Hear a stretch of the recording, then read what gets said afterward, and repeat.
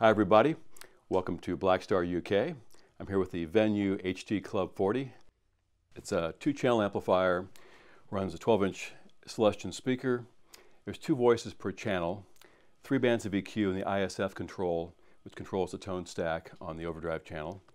Uh, master reverb, master volume. On the backside there's a speaker output, uh, emulated output as well, and it's foot switchable.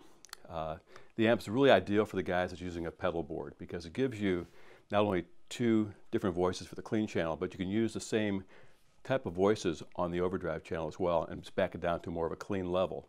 So for example, here's the, the clean channel right now with its class A voicing. This is not a, like a bright switch kind of thing. This is more of a, an actual voicing change. So, so I can go from class A clean, boutique kind of style, to more of a AB, more headroom, more low end, more top end. So if I add an overdrive pedal to that, now I have two more other options. Here's my Class A style again with the overdrive off. With it on. Or back to my AB voicing. Again, more bottom, more top end.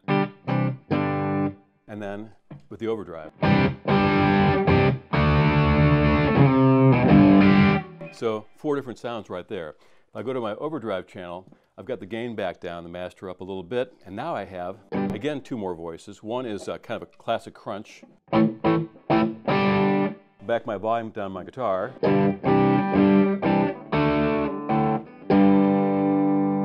Here's the overdrive added to that.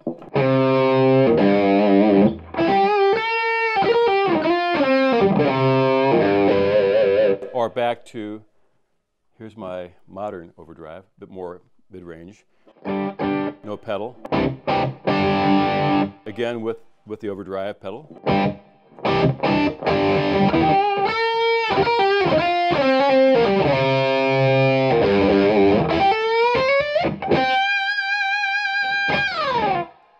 Again, the Blackstar HT40.